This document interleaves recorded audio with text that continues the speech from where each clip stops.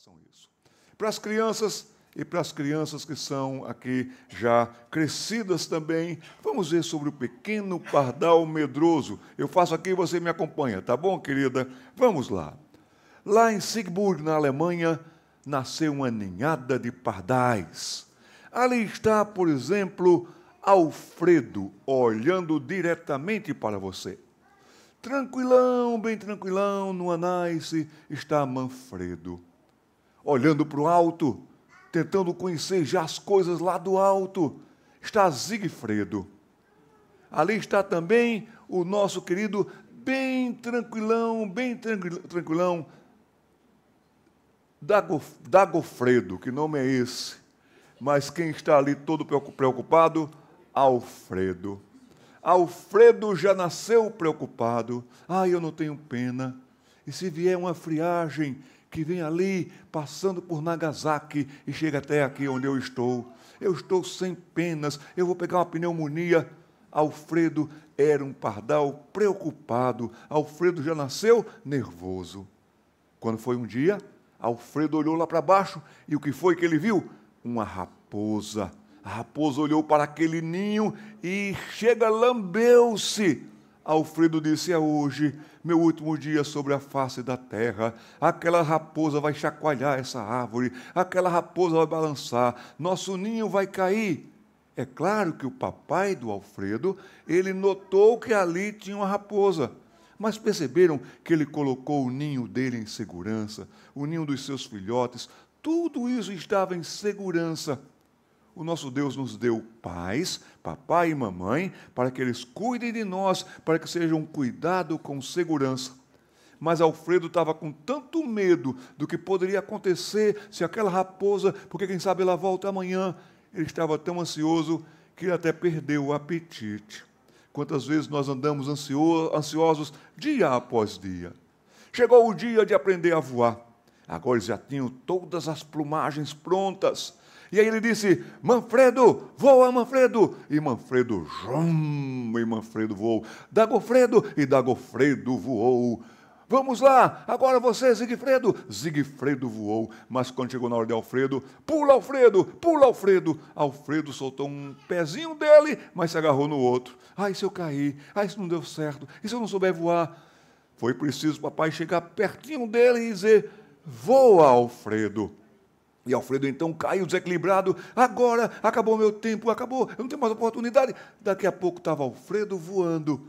Alfredo aprendeu também a voar.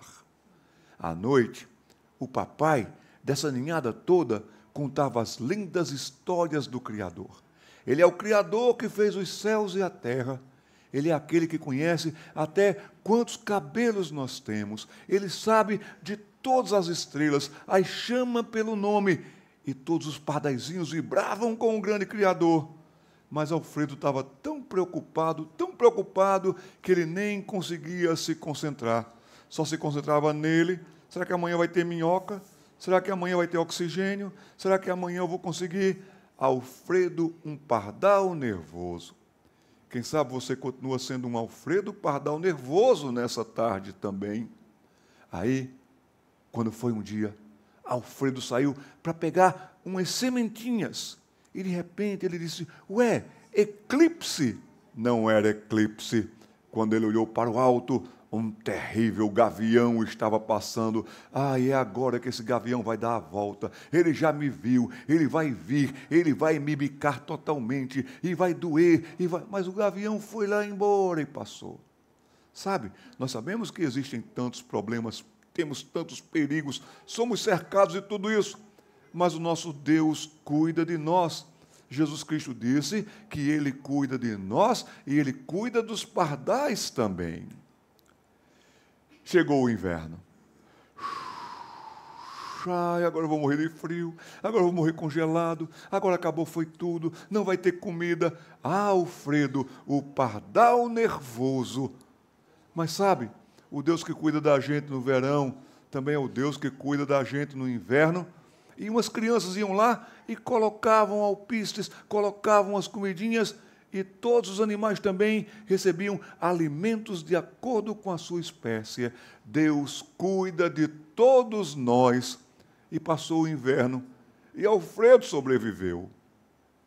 Chegou o dia de passarinhar.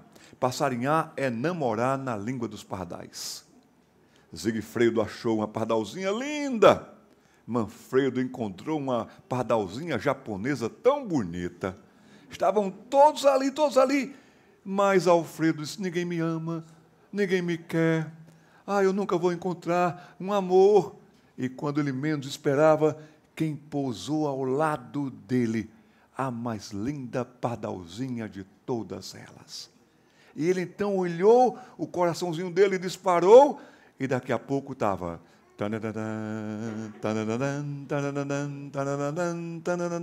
E houve o casamento de Alfredo e a pardalzinha mais bonita daquela região, querida, bondosa, amorosa. Alfredo parou e pensou: e agora? Como é que eu vou conseguir uma casa? Como é que eu vou construir um ninho? Alfredo, o pardal nervoso. Oh, Alfredo estava ali tão preocupado, tão preocupado. E agora, como será o amanhã? Como será o hoje? Como será o daqui a pouco? Soprou uma brisa tão gostosa na sua direção.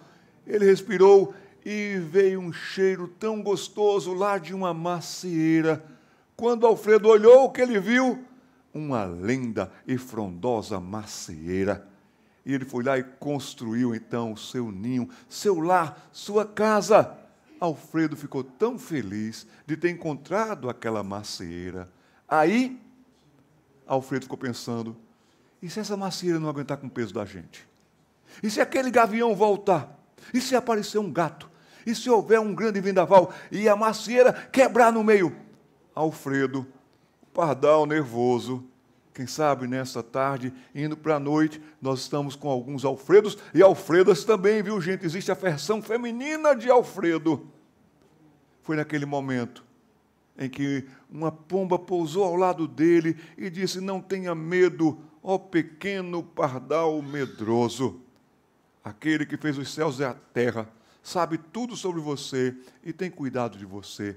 Não tenha medo e avise a todos que o Criador é o sustentador do universo e ele sustenta a todos, ele mantém a todos com vida. Esse é o grande Criador.